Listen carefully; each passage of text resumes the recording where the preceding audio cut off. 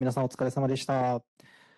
はい、いかがでしたでしょうか？だいぶ普段使わない頭を使って、あの、結構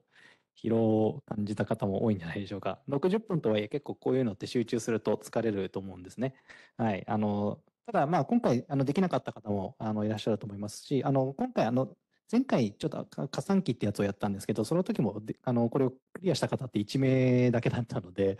あの実際に今回3名以上は少なくとも今分かっているので、あのそのかあのできた方はまあすごいなと思っていただいて、あの全然あの自信を持っていただければと思います。もちろんできなくても今回これ結構難易度はそんなに優しくはないので、あの気にせずにいていただければと思いますので、はい。じゃあ最後ですね、あの発表したい、あの発表といいますか、ランキングの発表に行きたいと思いますので、えっと、皆さん手を止めておいていただければと思います。もうこれを実行したらすぐ結果出ますので、はい。じゃあ最後、あどなたが1位だったかっていうのをちょっと見ていきたいと思います。はい。お木室奈さんですね。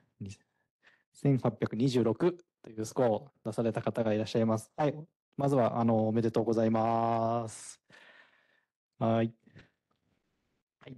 じゃあ、ちょっと、あの、すみません。前に出てきていただいて、あの、ご説明をちょっといただきたいので、よろしくお願いします。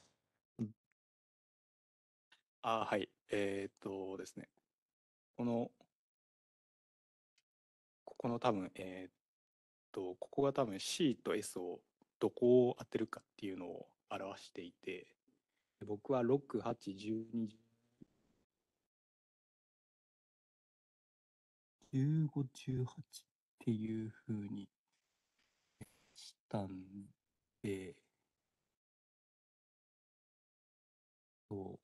う。6、8、12、えっ、と、多分タイピングミスで、本当は16にしたくて、で、ここが多分ずれちゃって15になって、18になって、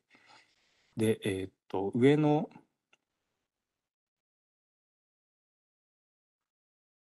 あ、取れてない。はい、えっ、と、で、この上のやつが、えっ、と、C012 が、その、どの S を目指すかっていうのを多分表していて、で、これはあのデフォルトの設定のままにしたままで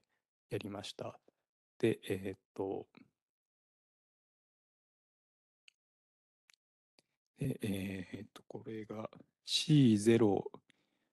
C1、C2 は、えっと、デフォルトと同じなので、S0、えっと、7番を目指していくので、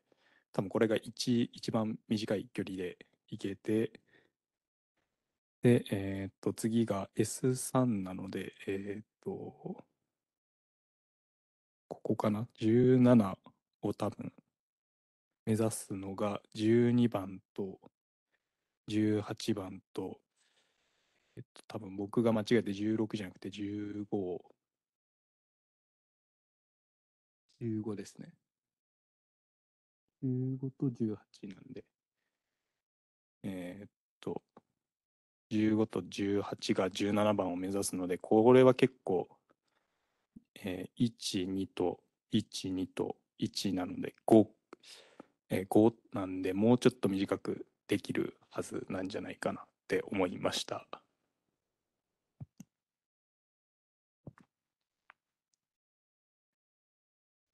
はい、ありがとうございます。皆さん、ちょっと拍手の方先にお願いできますでしょうか。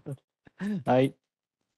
はい、ありがとうございます。なので、まずやったこととしては、結構この場所をまずずらしたってことですね。それによそれだけでも結構変わる場合があるので、あのーまあ、実際の実機を使う場合、これ全部の量子ビットをもともと使う予定はなくて、そのうちの9個をどう組み合わせるかっていうのも、ま、ポイントだったっていうことで、それによって、あの、位置を変えるだけでも、うん、変わるという、あの、結果が変わるっていうことで、まあ、そのあたりも、あの、実際にやっていただいたのがすごく良かったなと思っています。はい、ありがとうございます。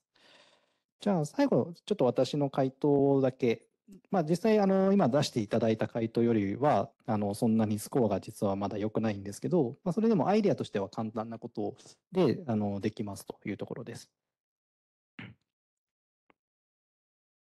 まあ、本当にすぐ終わりますので、ご安心ください。